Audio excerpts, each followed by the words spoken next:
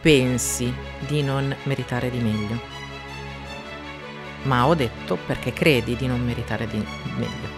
Io credo di non meritare di più, invece è più grave. L'attaccamento nasce dal fatto che noi abbiamo bisogno di sicurezze.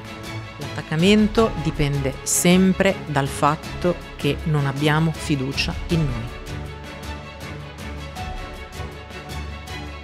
Piangere per sapere di che cosa stai piangendo ti consola di più della paura che hai di ridere per una cosa che non sai quale sarà.